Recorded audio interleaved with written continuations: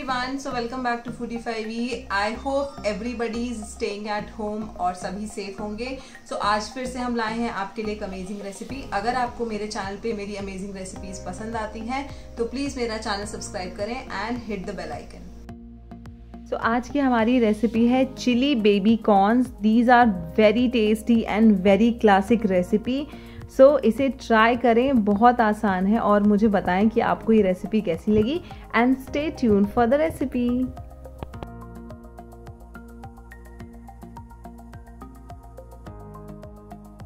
baby corns को अच्छे से वॉश करके आपको इसे इस तरीके से सेंटर से कट करके एंड देन फोर पीसेस में आपको कट करना है। उसके बाद हम पैन में लेंगे वाटर एंड उसमें ऐड करेंगे थोड़ा सा सॉल्ट तो बेसिकली आपको इसे बॉयल और आई कैन से हल्का सा ब्लांच करना है और ये हम पूरा ट्रांसफ़र कर देंगे इसमें और बॉयल आने तक हम इसे around three to four minutes के लिए हम इसे कुक करेंगे। उसके बाद आपको इसे निकाल लेना है, निकाल के इसे अच्छे से ड्राई कर लेना है और ऊपर से डालेंगे हम इस पर one fourth cup of all purpose flour and then इसमें जाएगा थोड़ा सा सॉल्ट और हम इसमें ऐड करेंगे हमारा cornflour two tablespoon of मैंने यहाँ पे कॉर्नफ्लावर का यूज़ किया है और मैंने यहाँ पे लिया है around one tablespoon of ginger garlic paste उस पर स्प्रिंकल किया है थोड़ा सा ही around half tablespoon of black pepper powder सारी चीज़ों को अच्छे से मिक्स कर लेंगे और जो बेबी कॉर्नस है उसमें कोट कर लेंगे। If you want you can use your hands क्योंकि उससे खाने में बात ही अलग हो जाती है। सो so, कुछ इस तरीके से रब करते हुए आपको जो इसमें जो स्टार्च कॉर्न स्टार्च है जो मैदा है वो हमें यूज़ कर लेना है। If you want you can use very little around spoon of water in it and then उसके बाद हम इसे फ्राई करेंगे। आप इसे डबल फ्राई करेंगे सो एक बार में आप हाफ़ डालें एंड देन जब वो हल्का सा ब्राउनिश हो जाएगा देन हम उसे निकाल लेंगे और रेस्ट हाफ़ को भी हम कुछ इसी तरीके से फ्राई कर देंगे। वाइल्ड फ्राइंग मेक श्योर आपके बेबी कॉर्न्स के बीच में एक प्रॉपर डिस्टेंस होना चाहिए।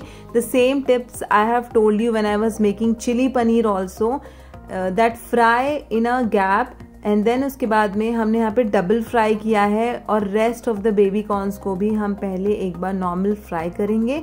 देन उसके बाद निकाल करके we have to double fry these things उसके बाद सारा ऑयल निकाल लेंगे except you have to leave around one tablespoon of oil उसमें ऐड करेंगे chopped spring onions chopped ginger so around one and half tablespoon of मैंने यहाँ पे ली है स्प्रिंग अनियंस यानी कि हरा प्याज। और मैंने around half tablespoon of आपका जिंजर यूज़ किया है। आपका फ्लेम यहाँ पर मीडियम पे रहेगा। दोनों चीज़ों को लाइटली फ्राई करेंगे, यानी कि सौते करेंगे हम।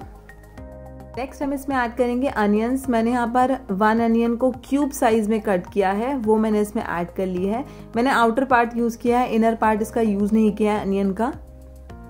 इसमें जाएगी ग्रीन कैप्सिकम, यानी कि शिमला मिर्च। सो वन शिमला मिर्च ली है, उसको भी मैंने क्यूब्स कर दिया है, जैसे मैंने अनियन को किया था। वो मैं इसमें ऐड कर लूँगी और दोनों चीज़ों को फ्राई करूँगी। देन इसमें जाएगा हमारा टमेटो सॉस तो मैंने यहाँ पे around two tablespoon of tomato sauce लिया है। उसके बाद हमारा अगला सॉस है सोया सॉस जो हमने सिर्फ़ वन टेबल स्पून ऑफ़ का सोया सॉस यूज़ किया है।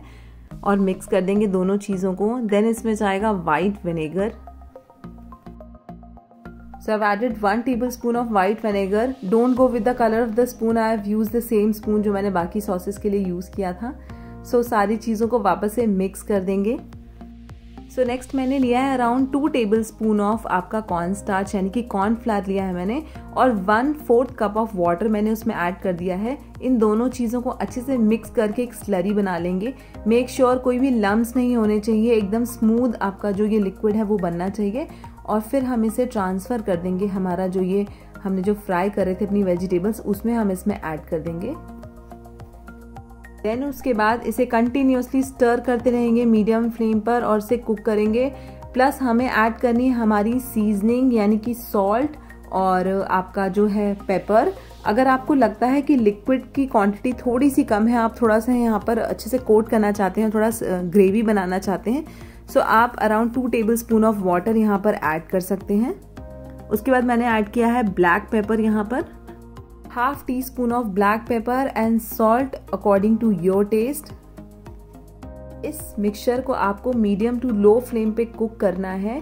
और उसके बाद मैंने इसमें ऐड किया around one teaspoon of honey that is totally optional अगर आप चाहें तो आपसे स्किप कर सकते हैं। सो so ये देखिए हमारी ग्रेवी ऑलमोस्ट रेडी है। फिर मैं ट्रांसफ़र कर दूँगी इसमें जो मैंने बेबी कॉर्नस फ्राई किए थे, वो मैं इसमें ट्रांसफ़र कर दूँगी।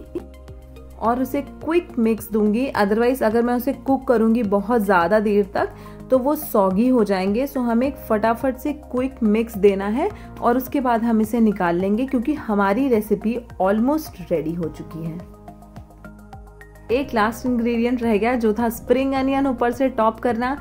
सो so, मैंने यहाँ पे around two tablespoon of spring onion finally chop करके ऐड कर दिया है और निकाल लिया है इसे सर्विंग के लिए। सो so, आप देख सकते हैं ये कितनी ब्यूटीफुल लग रही है। ये खाने में भी उतनी टेस्टी होती है।